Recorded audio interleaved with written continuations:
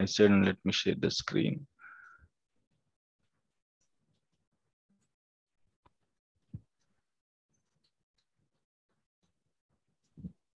What we have discussed in our last class? Group logins. Group login. How to create a group.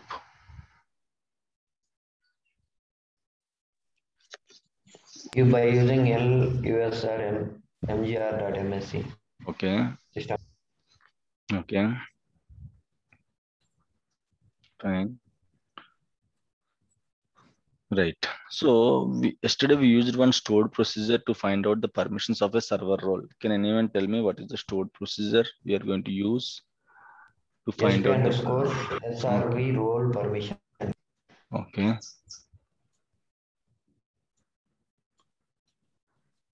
Okay.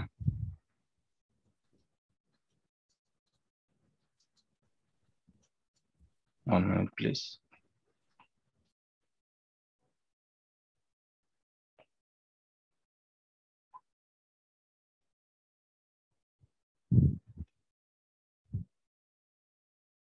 Right.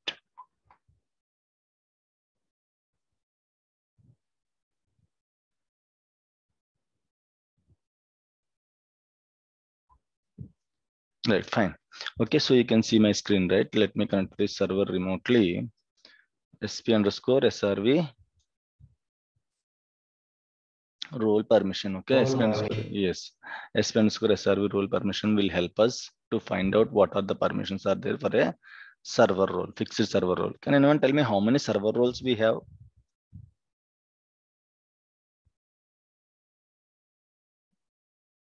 How many server roles we have in SQL Server? Nine plus one.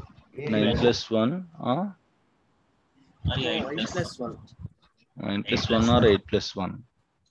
Eight plus one. Are you sure? Yeah. Are you sure? Ninth one is public. Sorry? Ninth one is Ninth one public. public. Okay, so we have eight server roles, right? Eight fixed server roles plus one public server role, right? Yeah. It's a default Okay. rule. Yes, okay. So whenever you create any new login, you are the member of which server role by default? Public. Okay, very good. Okay. So let me connect to this instance, right? So yesterday we have discussed how, how a group login will work. What is the usage of the group login? Okay. Anyone tried like how many users we can add in a group or how to check permissions of a group level permissions in the Windows machine? Anyone tried in the Google? Honey, have you tried? Yeah, I tried, but you know, I think um, I didn't add that many users anyways. Okay. Yeah, so I think it was pretty straightforward generally, but obviously I don't know the limit as well, how many we can add. How to check the permissions of a group? How to check as in general, the you mean the security or what kind of things yes, they can yes, do in the security. SQL? No, Yeah. I didn't. I haven't done that. Okay, that's fine. That's fine. Anyone tried creating group login at least? Yes, created. So did you face any challenges? No, sir. Everything works fine, right? Okay, right. Yes. So today we'll complete the, today, tomorrow, we are going to complete the security discussion. Okay, so let's uh, discuss the server roles. We'll discuss the server roles in today's class. Okay, so like we have eight plus one server role is there, right? DB creator, bulk admin, DB creator, disk admin, uh, setup admin, server admin, system admin like SCA. Okay, system admin, process admin, security admin, public. These are the default server roles, eight plus one server role we are going to get when you install a SQL server. Okay, so let's see what kind of roles will have what kind of permissions. Then after the server role, we'll discuss customized server role, how to customize a server role with our own permissions. Then after that, we are going to discuss what is the database role, how many database roles we have, and what each database role will do. Okay, then after that, we are going to discuss orphan users in the SQL server, how to find the orphan users, how to fix the orphan users, which is very important. Very regularly, we are going to do this activity. So with that note, we are going to close the security. I guess I'm going to close it by today or tomorrow. Okay, right? So let's quickly check the server roles where I can find the server roles. Where I can find the server roles. And the security. Server up. security server roles there you can see server roles okay so we have a query for that can anyone tell me what permissions bulk admin will have my voice is clear right you don't face any Yeah. difficulties like yesterday right No, Not, yes. un- not until now. yeah that's fine thanks for the confirmation yes can anyone tell me how many permissions are there for this bulk admin what are those permissions? Two permissions permissions. very good He can add the, he can add the another user as a bulk admin and he can insert the bulk. okay by default each server role will have what kind of permission Add, adding another user as Yes. a uh, same. to the same role okay by default so i can use the stored proc to find out the permissions of any role okay so i want to find out the permissions of a bulk admin role so i can give sp underscore srv role permission srv means server role permission not permissions. It is going to change the color. If you see if you can identify that the color is changed okay might be it is a gray color. The color is going to change okay in case if you give yes you're going to get black color okay so which is wrong. Any stored procedure system stored procedure if you write properly the color will be changed like this to the gray color okay then server role. Then once you execute this one then you can see two permissions one is by default each role can add another login to the particular role. If you are a member of yesterday we have discussed if Mani is a member of bulk admin role Mani can add another login into the same role not other roles guys. If you are a bulk admin you can add another login into the same role. If you are a db creator you can add another member into the db creator role. If you are a disk admin you can add another member into the particular role. By default every role will have this permission. Apart from that some extra permissions also will be there. So member of bulk admin can do bulk insert operations. How to add any login into the bulk admin role? Can anyone tell me? Can anyone guide me? How to add any login into the bulk admin role Just click on, uh, double click on bulk admin. okay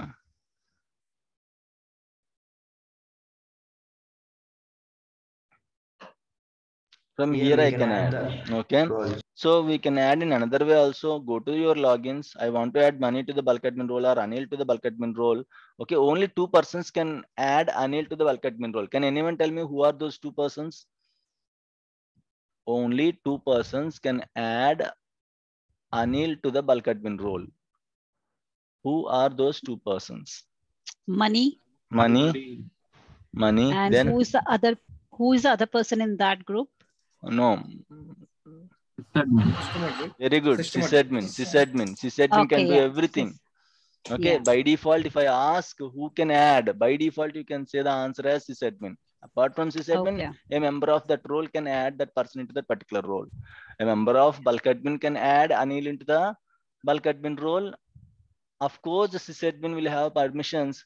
He also can add Mani or Anil into the bulk admin role. So in case if you want to add any login into the any role, how can we add? See, remember guys, logins roles, server level entities.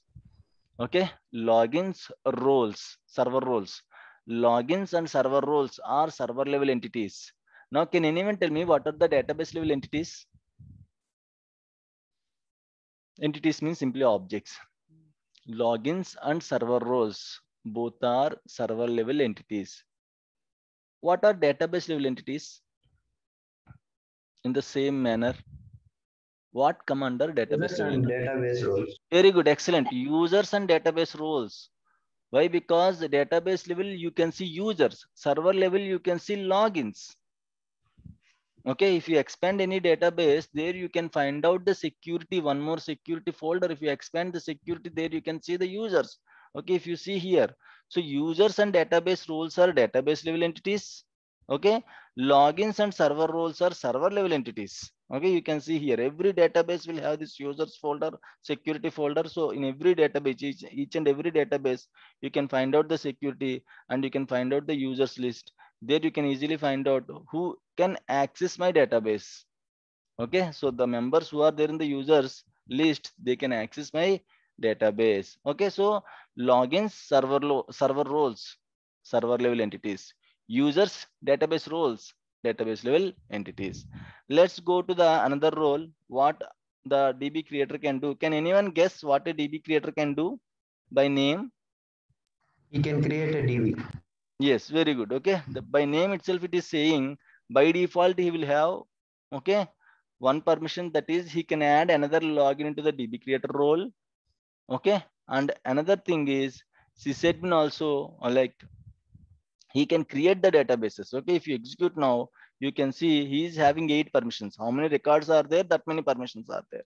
You can see eight records. Each row is a record. So you can see eight records. So he's having eight permissions. So first permission is add member to DB creator. If you are a member of DB creator, you can add another member to a particular DB creator also. If you remember grant with grant deny options we have in SQL Server. So what is meant by grant? What is meant by with grant? What is meant by deny? Okay, let me tell you. Okay, grant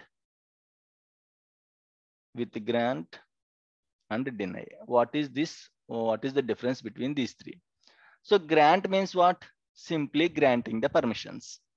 Grant means simply giving the permissions. Okay, grant. With grant means what? What is meant by with grant? With some limitations. Not exactly. Hmm. Like he can uh, create Just- like a uh, adding role. Adding role. Okay.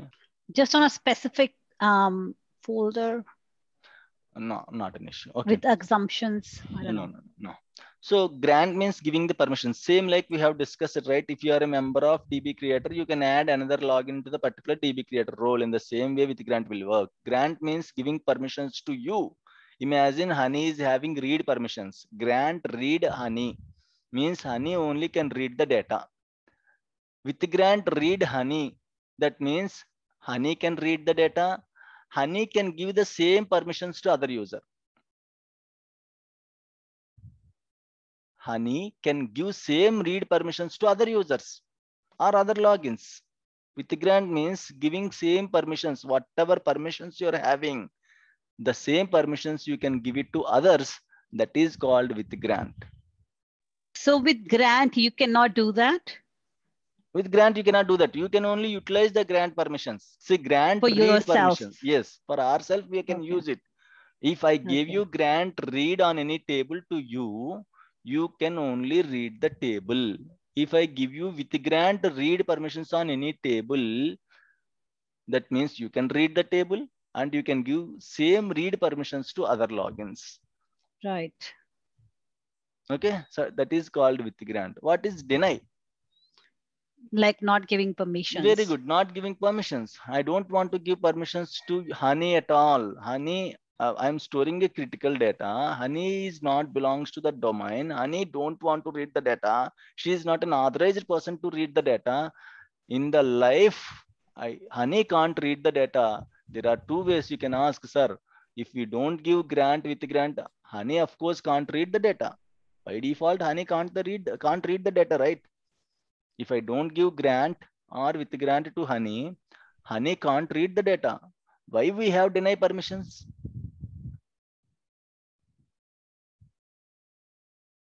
Did you get my question? that um, the database is not visible as well. Is it just to make it hidden? No, no, no, no, no. You can see the databases in case you are in the member of a deny permission. You can see the databases.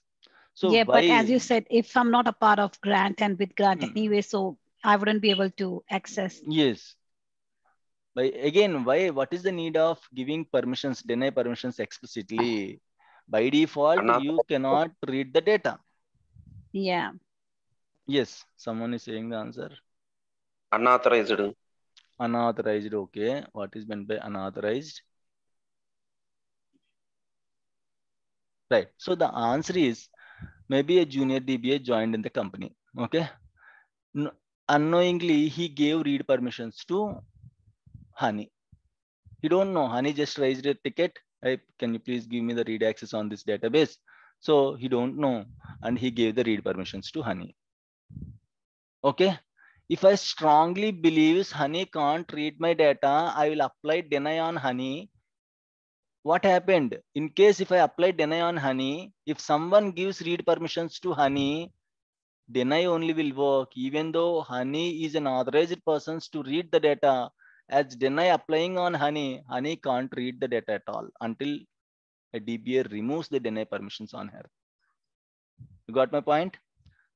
Here, if someone unknowingly or by mistake give permissions to Honey, but I strongly believes Honey can't read the data. So what I did is, as a DBA, I just gave deny permissions to Honey. So in case by mistake, if someone gives read permissions to Honey, as deny is already applying on Honey, Honey cannot read the data until we remove deny permission. Clear? Can we add both the permissions? Yes, yes, we can add both permissions. Grant, deny, you can add both. Okay, I'll show you how to add it. Is it clear? Is this point clear? Please mute it in case if you don't have questions. Is it clear, everyone? Yes, sir. Ani, is it clear? It is. Yeah, that's fine. Okay, so this is how the difference between grant with grant and deny. Okay, grant means simply giving the permissions. With grant means you can utilize the permissions and you can give the same permissions to others. Deny means in the lifetime you are not an authorized person to get the permissions. Please mute it yourself. Otherwise, I'll mute everyone. If you don't have questions. Right. Okay. So if you like, uh, deny means uh, in the lifetime the user cannot read the data, write the data, whatever permissions. Reading is just an example here, okay? Whatever permissions, read, write, insert, update, delete, whatever permissions you want, you can give grant with grant, okay? Deny and all, okay? So this is how grant with grant and deny will work, right? So DB creator role, a member of DB creator can alter the databases. Altering means adding files and all. If you want to add some files to the existing database, that is kind of altering means changing the database structure changing the database form is called an alteration. Okay altering the database database name or you want to keep the database offline you can use alter query alter database database name set offline. Okay you want to rename the database you can use alter query. You want to move the database you can use the alter query. So a member of db creator can do all these things. Okay he can create a database he can alter the database. Of course he can drop the database also. A member of db creator can drop the database also. Okay? And extend database i'm not sure what is this extended uh, here we are not going to use all the permissions. Okay? As a dba we are limited to use some of the permissions. Okay? And of course we will have access on all the permissions but developers will use some permissions dba will use some permissions. So don't worry. Don't think like uh, we have to know all these permissions. The main role the main permissions of this role is create the database alter the database drop the database. In case if you are a member of okay uh, db creator role okay you can create the database you can alter the database you can drop the database. Apart from db create db creator who can do all these things? Sysadmin. Sysadmin, very good. Very good sysadmin can do all these things. Okay Uh, next is he can restore the database. He can restore the log file of any database. We have a separate concept database backups restores. How to do a backup how to do a restore everything we are going to discuss. So uh, nothing to worry here. Okay? So a member of Sean? yes Just a question, you know, when you create a login, so Mhm. these are the permission which you have to give explicitly or, you know, when, when we are creating a login as well, we can just do that straight away. login while creating while creating login you can simply create the login okay no need to Yeah. give permissions but still Okay. at the time of creation if you want to give simply you can go to server roles Roles, server yeah, roles that's what I was you saying. can you can We- simply add a particular login Yeah. particular role Okay, yeah, we can, right. yes okay so it's not compulsory while creating. You, you can give nothing like that. Maybe you can create Yeah. one year back or one year ago or now you can give the permissions to the existing logins or freshly you can give a login you can create a login and you can give the permissions at the time of creation okay? So whenever you want you can add any login to any role. While creating or else like already created login also you can add the login into the role okay? Right so after db creator what role we have? I guess it will be disk admin. There is a shortcut guys. Uh what is the shortcut? Bd square uh, ps4 okay? What is the shortcut? Just to remember in case you want to remember okay? Bd square b means okay? Let me expand this one. Server role okay? Bd square 1b d square means d2 means two d's are there. P means 1p okay? And s4 security admin 4s okay? S4 means 4s security admin server admin setup admin sysadmin. B means bulk admin d means db creator. Again we have d two d's right? Db creator disk admin. P means process admin yes server admin sysadmin setup admin security admin. So in case you want to remember sometimes in the interviews they will ask what are the default server roles are there. In case you want to remember this is the shortcut bd square ps4 b bulk admin d square 2d is disk admin db creator process admin security admin server admin setup admin sysadmin okay in case you want to remember it. Okay right. So let me go with the other role we have. Disk admin we never use this uh, permission. I mean like role. Disk admin i guess uh, a member of disk admin okay what he can do he can initialize the disks and all. Okay add member to disk admin by default every role will have this permission. Disk initialization add device add dump device drop device. So this device this disks and all while taking the backups i'll tell you. Okay? So it's like more more than the sql server role uh, related to the os role. Okay? Os level okay you can initialize the disks and all by using this role but as a dba we never use this role. No one will ask you to add. First of all uh, very rarely we are going to use the server role okay we are not going to use this server roles regularly. We are going to use customized server roles. Why? Because okay uh, no one will ask you hey please add me into the db creator role. We are not going to give those responsibilities to anyone. Dbs will do all the activities. Sometimes maybe we are going to add a junior dbs into the some of the roles server roles like a junior dba can be a member of db creator so that only he can create the databases or only he can drop the databases or else he can alter the databases. Or else i just want to give a specific work like kill the permissions kill the sessions and all. In such case i can add him into the process admin role. So depends upon his work we are going to add but 99 percentage we are not going to use this but it is good to know okay what are the server roles what these roles will do. Okay? So after disk admin we have process admin. Again process admin will have two permissions. Okay? So what process admin do or what a process admin can do a member of process admin can do two things. He can add another login into the process admin role first thing by default. Kill what is this kill can anyone tell me what is this kill Yes. that person can kill the process if there is some instance running. okay. If there is any instance running, you know, regarding um, that SQL server, that person can kill that instance, okay. Any process which is running. kill the instance or kill the process? Kill the process if there is something running. okay that's fine so let's go with the small discussion the process. What is a process? How can we see the processes in sql server? What are the running processes? Okay so let's discuss the process first. Then we'll discuss how to kill a process. Okay remember guys in sql server everything will run as a process. Even sql related background background processes also will run as a process. You are trying to create a database okay you are going to run one script right? Or else you are going to manually create a database right?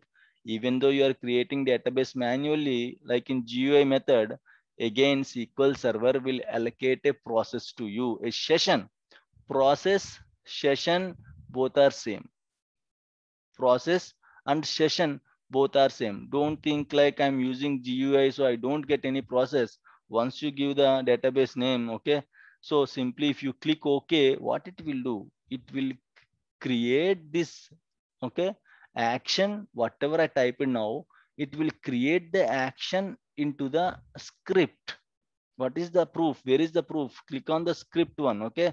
So automatically now if I click OK, what happened? You know, SQL Server or Windows machine don't know what is GUI, but we don't know what is the command to create a database. Okay, so we have GUI graphical user interface option, which help us to create a database. So simply don't think like if you are using graphical user interface means no query will run. Machine don't know anything other than query, either SQL Server or Windows machine. You are doing refresh on your machine, right? Simply you are refreshing your server or laptop whenever you want. So don't think like refresh means simply it is going to do refresh. There, if you click refresh, one command will run on the OS. Why? Because OS knows only commands, but we don't know what is the command to refresh the server or system.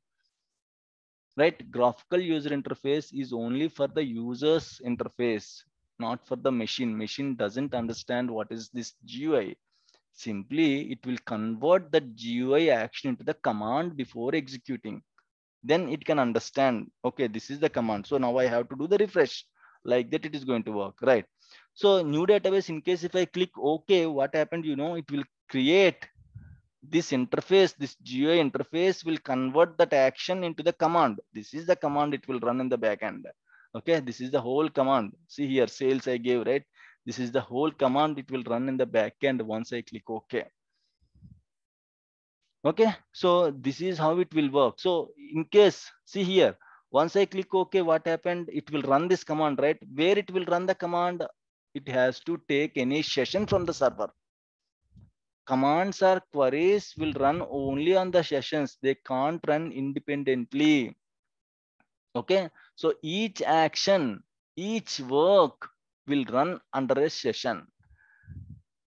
Or process, anything you can call session process, anything. Okay, so each process will have process ID or session ID. You can see in the brackets 57 you may be using 57 another person connected to the same server and he may be using 67 another person 87 97 107 or 104 105 whatever sessions are there every action will be done under a session.